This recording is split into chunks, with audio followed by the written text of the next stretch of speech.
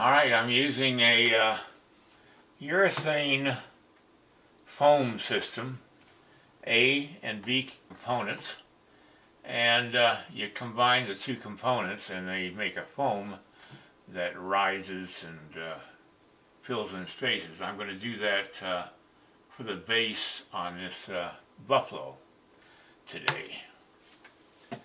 This stuff is not for kids to mess with. You get this on your clothes or on your hands, you're going to have it there for, well, on your clothes, you'll have it there forever. On your hands, it'll take a long time to go away. Okay, let's get busy. First thing I'm going to do is create a uh, reservoir for the uh, foam to go into.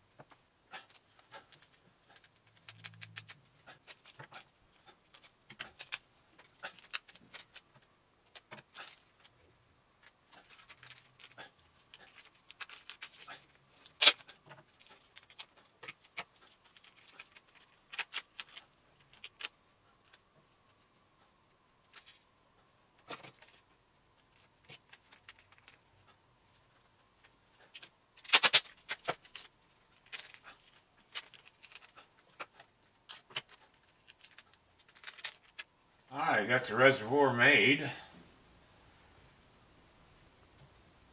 And uh, now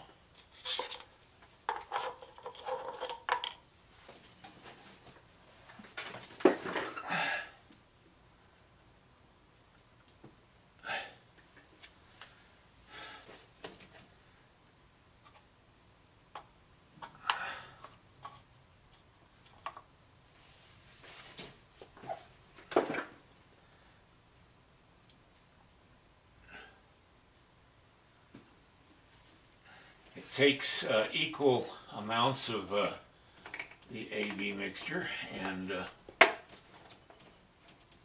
I got just a little bit too much there. There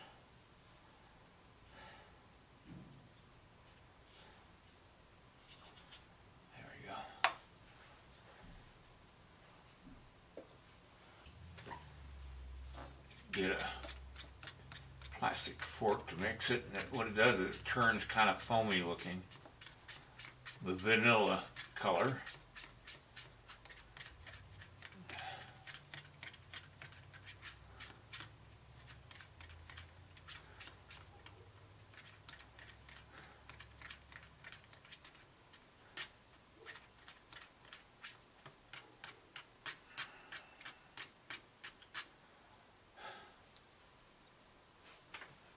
Well, here goes. Now, I'm going to keep mixing for a second here. It doesn't take long once you mix it before it starts expanding. So I want to get this in here. And what this does, it just keeps me from having to use a lot of clay.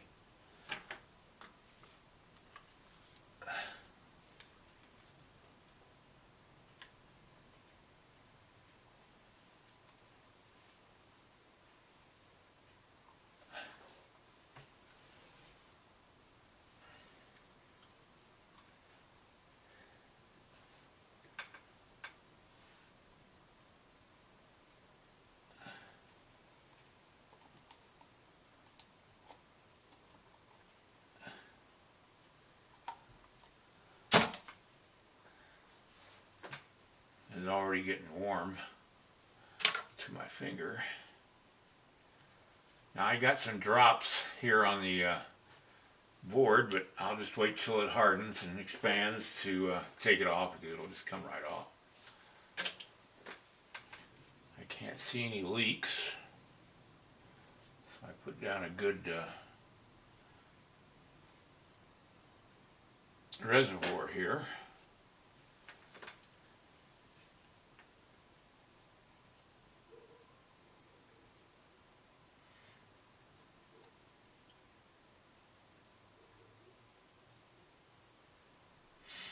This will save me probably six pounds of clay.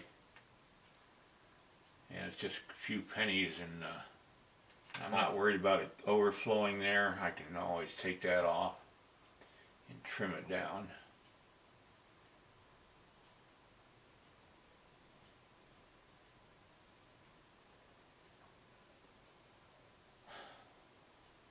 But it only takes a little, as you can see right here. And that's all you need. Okay, the uh, foam is completely hard now. There's no stickiness to it. It came right up to the bottom of the hoof here, which is great.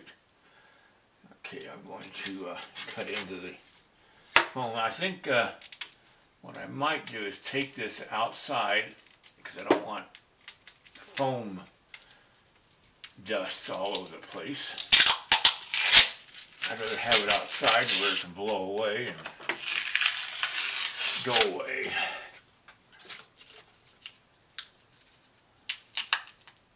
Let's cut that off.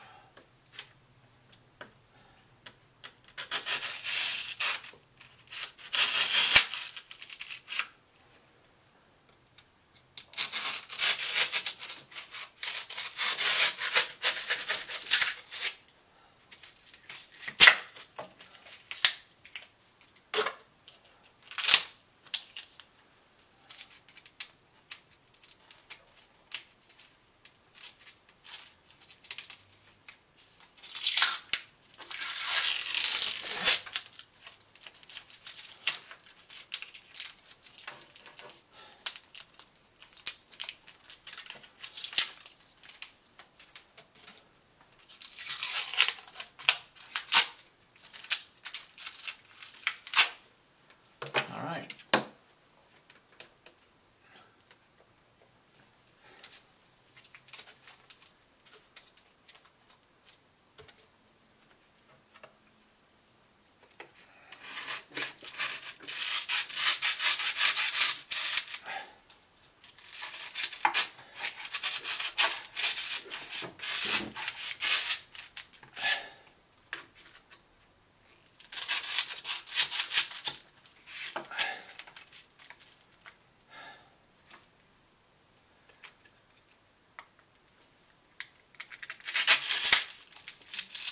It came up over the uh, hoof in the front, and I'm just trying to get it off without ruining the foot, but I'm not going to be able to, so I'll have to redo the foot. No big deal.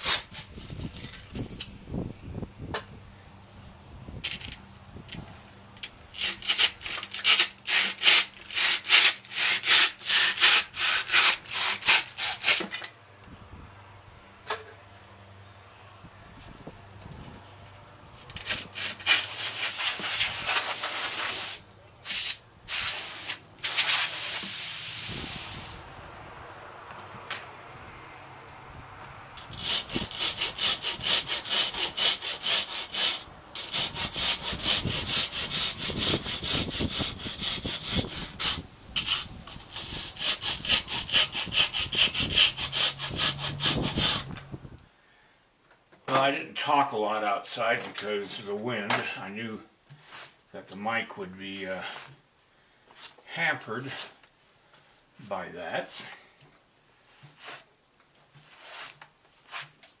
I want to take this moment to uh, remind you I do have instructional videos on how to sculpt that uh, where I give you you know my 50 year over 50 years of experience sculpting uh, little tips and little tricks. And uh, things you can do to make your sculptures and your clays look a lot better. Um, I put a link below and uh, hopefully hopefully you'll take a uh, look at the short uh, videos on each one of my uh, videos that I have available both on DVD and on uh, a uh, streaming on on YouTube. So I, I would really appreciate that. Uh, and uh, now let's get back to him.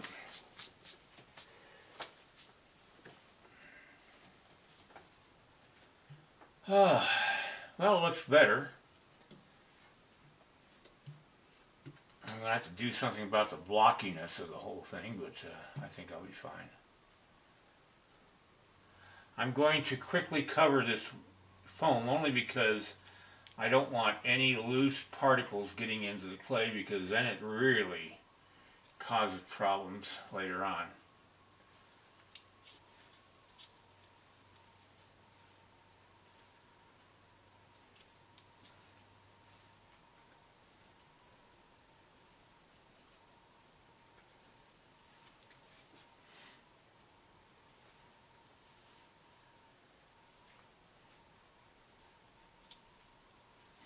I'm really surprised at how that foam only came up to the bottom of his hook. That, that That's great. I didn't plan it, but uh, it's great when it works. I'll tell you what, I'm going to come back after I get this covered in clay and uh, we'll continue on. Alright, what I did was I took some scrap foam that I cut off of the uh, main foam and uh, I glued them down to give me kind of an extension on the uh, the base because it, it looked kind of weird having his head way out here and nothing balancing it out. And uh, I've glued it down with uh, Elmer's glue. It's going to take probably uh, overnight to get that to harden. There was a little hole in it. I just filled it in with clay. That's as much as I'm going to do with that I've got to come up with a design on the base to make it interesting. Uh, right now it's just a cake, and I don't want a cake. So let's get busy on working on his hair texture.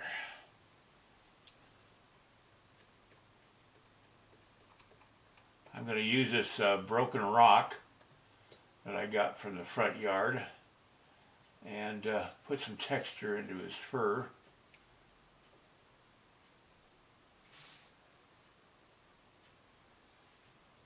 Now, there'd be a you know skin around the bottom of the eye. The fur doesn't come up to the eye, at least from what I've seen in photographs and in real life. I mean, I only have maybe an hour's drive from here to get to where I can see buffalo because they uh, are in Yellowstone Park and I'm only 80 miles from Yellowstone, so but uh, it's uh, it's a good resource when you're working with wildlife animals and stuff like that. I've got some great photographs of elk and uh, buffalo from Yellowstone. My eye is a lot better today and uh, I'm still getting tears flowing out of it, but it uh, doesn't hurt as much the last couple of days as it has in the past. And uh, what I'm doing is I'm putting lighter fluid, this this Ron, Ronsonol lighter fluid on the uh, the brush and I'm just uh, lightly going over it. And it's a soft brush and it's also an oil painter's brush. Um, if you get a cheap brush from a hobby store, uh, you'll get a lot of uh, a lot of the uh, bristles coming off into the clay and then they're hard to get out. If you have a friend who does oil painting, they go through brushes like nobody's business and uh, I'm sure they got old paint brushes that uh, they'd be glad to let you have. And uh, that's where I got this was uh, from my friend Todd Connor who's a uh, western art artist. Uh, really well known and uh, he always has left you know brushes that have been overused and they get the bristles wear off uh, the edges and so they lose their usefulness after a while. If you if you've uh, used these brushes before, they get clay on them and they get a little stiff, but a little of the lighter fluid will just uh, soften them up again.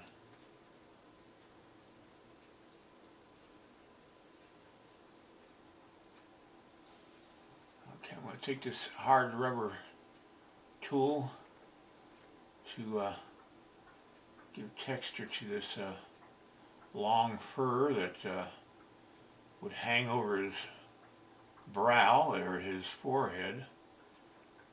But when he's running, uh, it uh, flies back. I'm not sure I'm happy with this yet.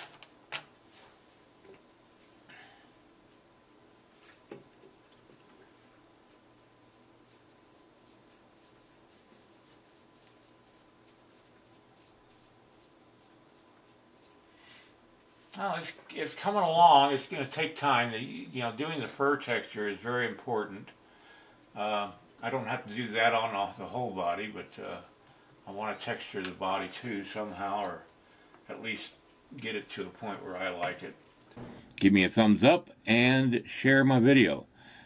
And then check out my instructional DVDs, uh, the link down below this video. All right, see you next time.